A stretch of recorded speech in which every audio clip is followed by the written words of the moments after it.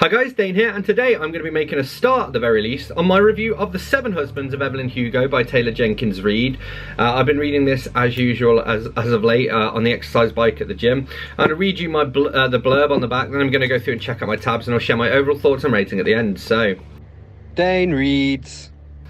Reclusive Hollywood icon Evelyn Hugo is finally ready to tell the truth about her glamorous and scandalous life. But when she chooses unknown magazine reporter Monique Grant to write her story, no one is more astounded than Monique herself. From making her way to Los Angeles in the 1950s to leaving show business in the 80s, and of course, the seven husbands along the way, Evelyn unspools a tale of ruthless ambition, unexpected friendship, and a great forbidden love. But as Evelyn's story nears its conclusion, it becomes clear that her life intersects with Monique's own in tragic and irreversible ways. So let's go straight in. Uh, I love the dedication at the beginning. For Lila, smash the patriarchy, sweetheart. Fuck yeah, go Lila. So our main character, the journalist, who is about my age as well, so I kind of related to her a little bit. Um, she's having a tough old time, um, but we get this little paragraph which I just thought was very telling. I order myself pad thai and then get in the shower. I turn the water to nearly scalding hot. I love water so hot it almost burns. I love the smell of shampoo. My happiest place might just be under a shower head. It is here in the steam, covered in suds, that I do not feel like Monique Grant, woman left behind. Or even Monique Grant, stalled writer. I am just Monique Grant, owner of luxury bath product. She says, I once read that charisma is charm that inspires devotion, which is a great line. I assume that's lifted from somewhere. Not because uh, Taylor Jenkins Reid isn't capable of writing lines like that, that are really deep and insightful, but rather just because she said I read somewhere, that makes me think, okay, Taylor Jenkins Reid read that somewhere, you know? So we start to learn a little bit about uh, Evelyn Hugo's past. So this is written in first person, but from Evelyn's point of view as she's telling the story. Um, and this first paragraph here is very, um, very apt. It kind of foreshadows what she had to do herself later on in her life. My mother had been a chorus girl off Broadway. She'd emigrated from Cuba with my father when she was 17. When I got older, I found out that chorus girl was also a euphemism for a prostitute. I don't, I don't know if she was or not. I'd like to think she wasn't, not because there's any shame in it, but because I know a little bit about what it is to give your body to someone when you don't want to, and I hope she didn't have to do that. And I love this, this, I like last words in general, I always think they're really interesting. I like, I can't remember what Roald Dahl's last words were supposed to be. He said something like, it is so beautiful here, I can now sleep or something. Like something poetic and then his actual last words were fuck because uh, a nurse injected him with morphine. He said fuck and then died. But anyway, uh, I've often wished that on her deathbed she'd said something moving, something I could take with me always. But we didn't know how sick, but we didn't know how sick she was until it was over. The last thing she said to me was, "Dile, dile a tu padre que estaré en la cama." Tell your father I'll be in bed.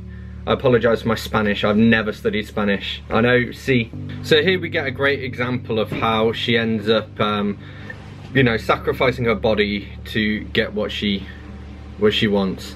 Well, hello, Ari, I said, grazing my hand on his arm. I was 17. He was 48.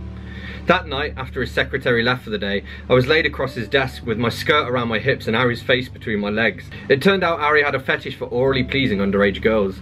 After about seven minutes of it, I pretended to erupt in reckless pleasure. I couldn't tell you whether it was any good, but I was happy to be there because I knew it was going to get me what I wanted. If the definition of enjoying sex means that it's pleasurable, then I've had a lot of sex that I didn't enjoy. But if we're defining it as being happy to have made the trade, then, well, I haven't had much I hated. And I like this, this little bit about laughs, because I think we all have laughs like this. Uh, my mum laughs, she's always had such a great laugh. It's very carefree, very young. Mine is inconsistent. Sometimes it's loud, sometimes it's wheezy. Other times I sound like an old man. David used to say he thought my old man laugh was the most genuine because no one in their right mind would want to sound like that. Now I'm trying to remember the last time it happened.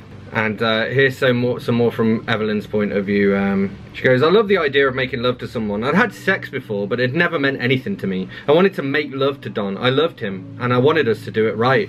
And then they get married. Don pulled me close and put his mouth to my ear, whispering, me and you, we will rule this town. We were married for two months before he started hitting me. End of chapter. Powerful end of chapter there. Another great little insight from Evelyn, what it's like to be famous. This is something that everyone should know about stars. We like to be told we are adored, and we want you to repeat yourself. Later in my life, people would always come up to me and say, I'm sure you don't want to hear me blabbering on about how great you are. And I always say, as if I'm joking, oh, one more time won't hurt. But the truth is, praise is just like an addiction. The more you get it, the more of it you need just to stay even. So Evelyn is out having, uh, you know, a swanky Hollywood lunch.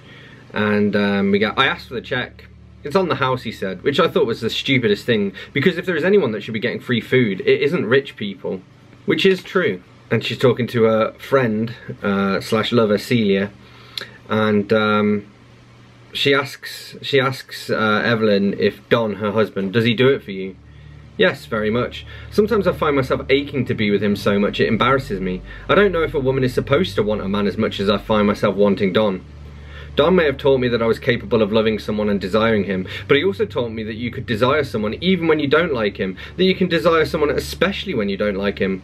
I believe today they call it hate fucking, but it's a crude name for something that is a very human, sensual experience. And so they're off to an award ceremony, and again, her relationship with Don is a little bit rocky. And we get I walked up to Don. He always cleaned up nicely in his tux. There was no denying that he was going to be the most handsome man there, but I was tiring of him. What's that saying? Behind every gorgeous woman there's a man sick of screwing her. Well, it works both ways. No one mentions that part. And she's getting a little bit jealous of all of the attention that Celia is getting because uh, she's younger and a better actress and all of that. Everyone was going to walk out of this theatre talking about Celia St. James. It should have made me afraid or jealous or insecure. I should have been plotting to one-up her in some way by planting a story that she was a prude or sleeping around.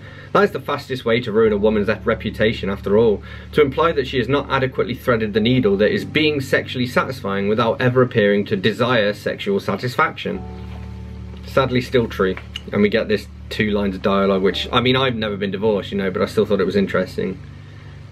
Divorce is loss.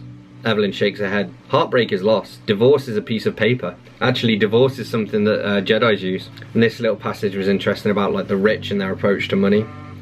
Uh, you should know this about the rich. They always want to get richer. It is never boring getting your hands on more money. When I was a child, trying to find something to eat for dinner besides the old rice and dry beans in the kitchen, I would tell myself that if I could just have a good meal every night, I'd be happy. When I was at Sunset Studios, I told myself all I wanted was a mansion. When I got the mansion, I told myself all I wanted was two houses and a team of help. Here I was just turned 25, already realising that no amount would ever really be enough. And Ruby gets this great line, she goes, you're not really famous if anybody still likes you. And we get this between uh, Celia and Evelyn, because um, Celia is a lesbian and Evelyn is bisexual. And we get, have you been with anyone else? Any men? She asked. She was always jealous of the men, worried she couldn't compete. I was jealous of the women, worried I wouldn't compare. So yeah, uh, Celia gets married, uh, Evelyn gets married, and basically Celia and Evelyn are in love, and their two husbands are in love as well. And um, they kind of, they call it like a four-way beard. We get um, Celia and I spent our nights together in this apartment. Harry spent his nights with John at their place. We went out to dinner in public, the four of us looking like two pairs of heterosexuals without a heterosexual in the bunch. The tabloids called us America's favourite double daters. I even heard rumours that the four of us were swingers, which wasn't that crazy for that period of time. It really makes you think, doesn't it? That people were so eager to believe we were swapping spouses but would have been scandalised to know we were monogamous and queer. We get this great little one-two between Celia and Evelyn, which I thought was very cute. You love me, she said. Oh my god, what an understatement, I told her. You love me so much you can't see straight. I love you so much that when I sometimes get a look at all the crazy fan mail you get, I think, well, sure, that makes sense. I want to collect her eyelashes too. And Evelyn's quite clear on the difference between sex and sexuality. She, she says, there's a difference between sexuality and sex. I used sex to get what I wanted. Sex is just an act. Sexuality is a sincere expression of desire and pleasure. And Evelyn talks about how she ended up losing Celia. Um, I want you to have it in my words. When Celia said she couldn't have all of me, it was because I was selfish and because I was scared of losing everything I had. Not because I had two sides of me that one person could never fulfill. I broke Celia's heart because I spent half my time loving her and the other half hiding how much I loved her. Never once did I cheat on Celia. If we're defining cheating by desiring another person and then making love to that person, I never once did that. When I was with Celia, I was with Celia. The same way any woman married to a man is with that man. Did I look at other people? Sure, just like anyone in a relationship does. But I loved Celia, and I shared my true self only with Celia. The problem was, I used my body to get other things I wanted, and I didn't stop doing that, even for her. That's my tragedy. That I used my body when it was all I had, and then I kept using it even when I had other options. I kept using it even when I knew it would hurt the woman I loved. And what's more, I made her complicit in it. I put her in a position to continually have to approve of my choices at her own expense. Celia may have left me in a huff, but it was a death by a thousand cuts. I hurt her with these tiny scratches day after day, and then I got surprised when it left a wound too big to heal. And uh, Monique, she says, uh, you're hard on yourself, I think. Celia wasn't perfect. She could be cruel. Evelyn shrugged slightly. She always made sure the bad was outweighed by so much good. I, well, I didn't do that for her. I made it 50-50, which is about the cruelest thing you can do to someone you love. Give them just enough good to make them stick through a hell of a lot of bad. Of course, I realised all this when she left me, and I tried to fix it, but it was too late. As she said, she simply couldn't do it anymore because it took me too long to figure out what I cared about, not because of my sexuality. And Monique kind of comes to term with her own divorce and we get this great couple of lines. Sometimes divorce isn't an earth-shattering loss. Sometimes it's just two people waking up out of a fog. And this is sad but very realistic. Uh, I was 50 years old. There was an entire new generation of actresses to compete with. They were all gorgeous with smooth skin and shiny hair. When you are known for being gorgeous, you cannot imagine suffering a fate worse than standing next to someone and falling short. It did not matter how beautiful I used to be. The clock was ticking and everyone could see it. My roles were starting to dry up. The parts I was being offered were the mothers of the great roles being offered to women literally half my age.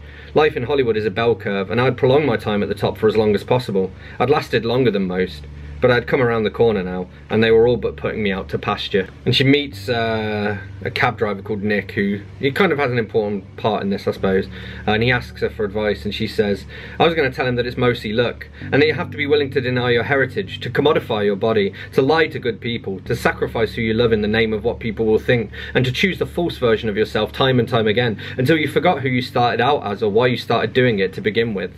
Um, I will say my criticism of the last 50 or so pages is that the pacing suddenly changes and we kind of ramp through the last 20, 30 years of her life in about 5% of the book. It didn't didn't really make sense. Um, and you have a lot of these big revelations again and, and, I just think they could have been dragged out a bit more. Like, I mean, I really enjoyed reading this, so it could easily have had another 50 or 100 pages and it would have still worked, you know? And we get this sort of twist at the end. I'd been told there was a twist to be honest, I wouldn't have called it a twist personally. Um, I think it's just part of the plot, but yeah. anyway, we get a revelation, certainly. Um, the whole book is a book of revelations, if you'll pardon the Bible pun. Um, and we learn this about um, Monique's father. Uh, he loved you. He was willing to turn down romantic love in order to stand by your side. Do you know what an amazing father you had? Do you know how loved you were? Plenty of men say they'll never leave their families, but your father was put to the test and didn't even blink. And I love this. Um, so she asks her mum about her dad. She says, um, what was he like with you? Oh, he was very romantic. He used to buy me chocolates every single year on the 3rd of May. I thought your anniversary was in September. It was, she says laughing. He just always spoiled me on the 3rd of May for some reason. He said there weren't enough official holidays to celebrate me. He said, it he said he needed to make one up just for me. And I might do that for my girlfriend because I think that's very romantic. Alright, and then we get to the uh, acknowledgements. And I just love the fact um, that she acknowledges uh, book bloggers. She says, to the book bloggers who write and tweet and snap photos, all in the effort of telling people about my work, you are the reason I can continue to do what I do very nice. Uh, and then my edition also had a reading group guide and um, I found question seven interesting. It says, at several points in the novel, Evelyn tells her story through the second person you. How does this kind of narration affect the reading experience? Why do you think she chooses these memories to recount in this way? And I hadn't even picked up on that. Um, and I normally hate second person as well. So the fact that it, it happened kind of so naturally, um, I was pretty impressed with. But yeah, all in all, The Seven Husbands of Evelyn Hugo, um, I did really enjoy it. I also enjoyed Daisy Jones and the Six, so Taylor Jenkins Reid is going to become one of my authors who I want to read everything they've ever written by. I'll be giving this to my girlfriend as well because I think she'll enjoy it and I'm keen to get her thoughts. I gave it a, a strong 4 out of 5. It could have been a 4.5 out of 5, but for that sort of little pacing um, change towards the end where it just felt a little bit rushed towards the end.